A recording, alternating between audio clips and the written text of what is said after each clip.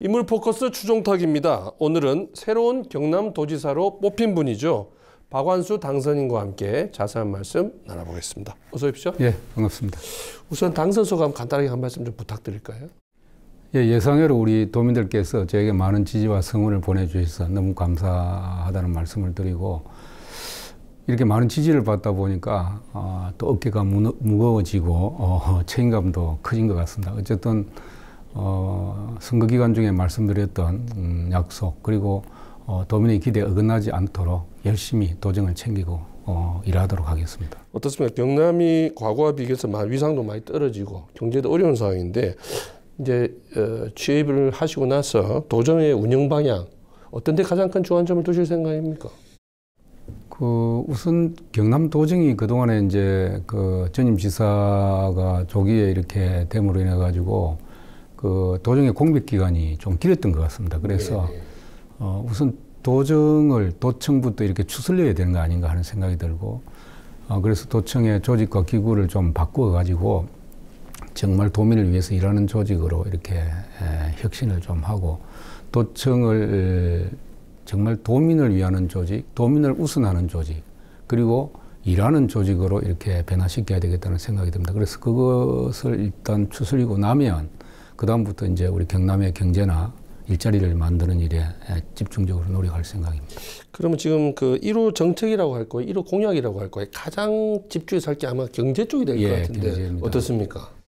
뭐 지금 이렇게 선거 기간 중에 도민들 만나 보면 사실 일자리 문제라든지 경남의 경제가 많이 어려워졌다는 걸 실감할 수가 있거든요. 네, 그래서 네. 저희들이 가장 중점을 둬야 될 부분이 경제 회복과 일자리 창출인데 첫째는 이제 경남의 기존 산업들 예를 들면 뭐 탈원전 문제도 이제 새로운 정부가 들어서서 그 다시 회복을 시키지 않습니까? 네네. 네. 아 그와 마찬가지로 경남의 자동차나 조선이나 조선도 경기가 대구조선 같은 경우에 많이 회복이 되고 수주가 네네. 네. 회복되고 있기 때문에 그래서 기존 산업들을 이렇게 회복시키고 어, 경기를 이렇게 회복시키는 일이 첫째고 두 번째는 이제 외부에 있는 기업들을 또 투자를 유치하는 길이죠. 그렇게 해서 우리 경남의 기업과 투자를 확대하는 길인데 그것은 이제 결국은 투자 유치 기구를 만들어서 전문가들을 배치해 가지고 외국 기업이 는 국내 기업 중에서도 경남 위에 있는 기업들을 대기업들을 지금 이번에 대기업의 대표들이 600조를 국내 투자하겠다고 했지 않습니까? 네네. 네. 그런 투자가 이루어질 때 우리 경남에 많이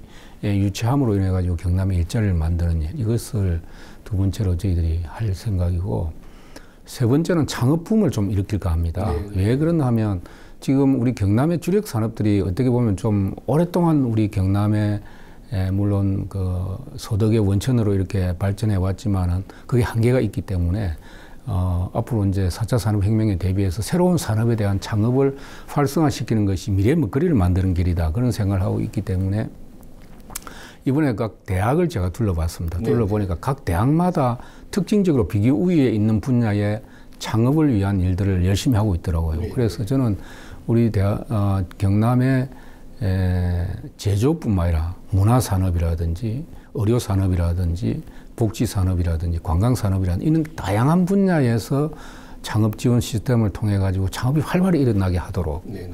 그렇게 해서 이제 새로운 산업을 에, 만들어가는 이 새, 새로운 산업의 씨앗을 만들어가는 것이 경남의 미래를 위한 길이 아닌가 이렇게 세 가지 일에 저희들이 중점을 둘 생각입니다. 이번에 선거 과정에서 이제 지역 곳곳을 돌아다니셨고 여러 도민들도 만나셨을 텐데 예. 물론 이제 경제 얘기도 가장 많이 나왔을 거고 예. 달, 달리 또 많이 들었던 얘기 어떤 것들이 좀 있으십니까?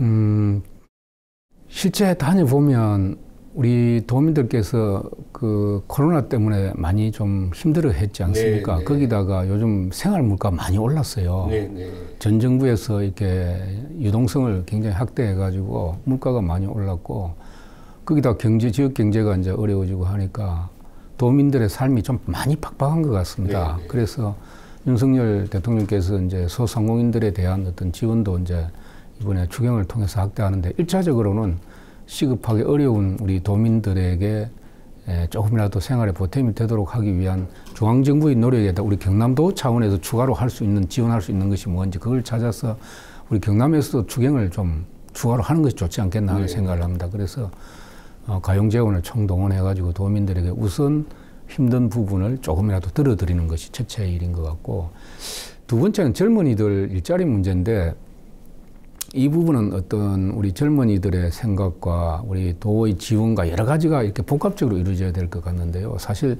중소기업의 일자리는 많이 있는데도 사실 인력이 부족한 네, 상태거든요. 미스매치 현상이 일어나고 네. 있는데 이 부분을 어떻게 사회적 합의와 이런 걸 통해서 어, 중소기업과 대기업의 임금 격차를 줄여가지고 우리 젊은이들이 중소기업에도 어, 이렇게 직장이나 일자리를 가져도 대기업 못지않는 보수를 받을 수 있게 하면서 주거 부분도 안정을 시켜주는 그런 정책이 좀 가감하게 중앙정부 차원이나 우리 지방자치단체 경남도 차원에서 이루어져야 되지 않겠나 하는 그런 어, 생각을 하게 되고 또 세 번째는 어, 도민의 그 응급 어, 구호라든지 네. 안전 문제입니다. 네.